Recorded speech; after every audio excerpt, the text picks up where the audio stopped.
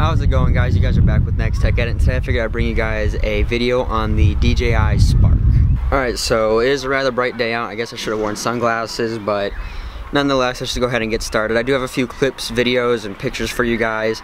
Uh, so I'm just to go over a few of the things that I noticed, such as to start off with that the battery seems to be going on the bottom this time. Uh, so that was a little bit interesting in the video. You can see there's some wires hanging out.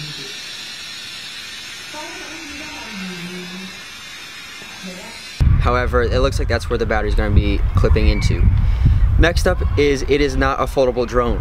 Now, a lot of people are giving this a negative thought. In my opinion, it's a little bit more on the positive side. It may not make it as portable, but even unfolded or not being able to be folded, it's still smaller than the Mavic. So this being said is you only get 5,000 folds with the Mavic arms, which could be a downside.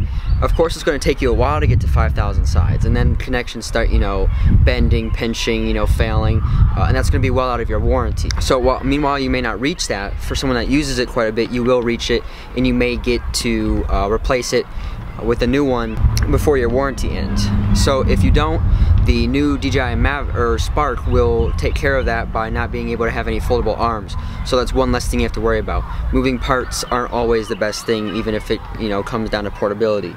Uh, so with that being said, I find that to be an upside of the DJI Spark.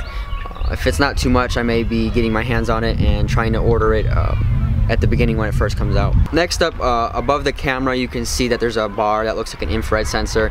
Uh, that's what basically we're going to go with is it's an infrared sensor and then you can see there's some flashing lights in the right side whereas the left side may be the obstacle avoidance however we're not 100% sure yet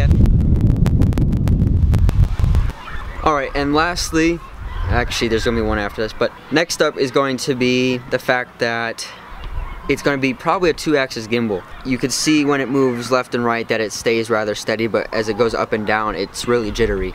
Uh, so it looks like it's only going to be a two-axis gimbal instead of the three that we're used to on the Phantom series and the new Mavic.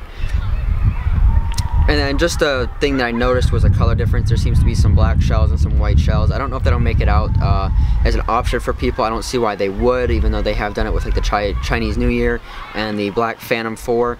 Uh, so maybe they'll be doing something similar where you could pick a color, black or white, uh, especially when it's coming down to something like a, it's not really a micro drone, but a mini drone series, stuff like that. But yeah, so that's pretty much all I have for you guys. Take a look at the videos. Uh, definitely drop a like, you know, subscribe, share the video, and definitely leave a comment if you guys want to hear some more uh, updates or something about another product. And uh, I'll try and bring you guys some information on it. Thanks for watching. I'll catch you guys in the next video.